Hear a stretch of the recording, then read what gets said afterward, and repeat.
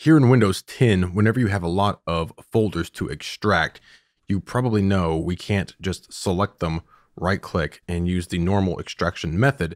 That's only going to extract that folder that I right clicked on. But there is a free program that you can use to accomplish what we want, and it's called 7-Zip.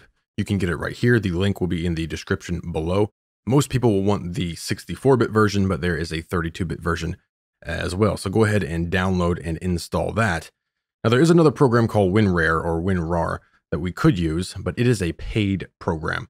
So in that case, with WinRAR, we could extract files, extract here, extract each archive to separate folder, but we are going to use the free 7-zip to accomplish the same thing.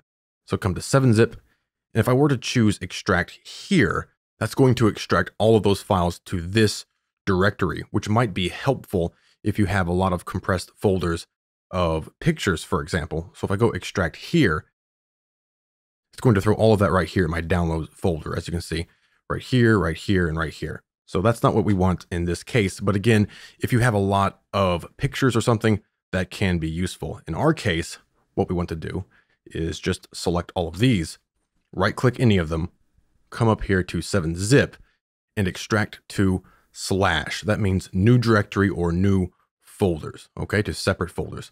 So select that and it will run this process.